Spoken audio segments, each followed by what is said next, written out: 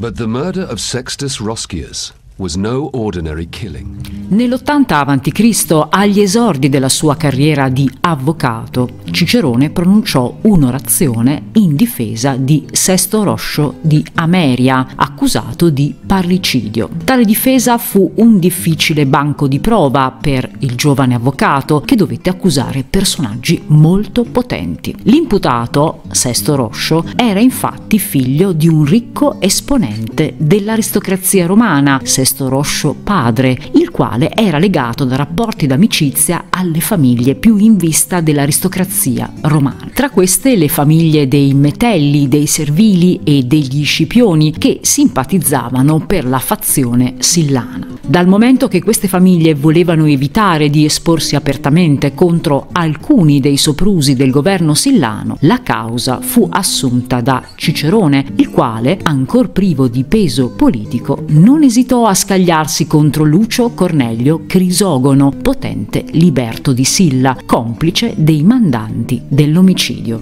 Cicerone riuscì a scagionare Roscio dall'accusa di parricidio non soltanto per la sua indubbia abilità nel condurre il dibattimento, ma forse anche perché Silla non intervenne in alcun modo a favore del suo liberto, complice dell'omicidio.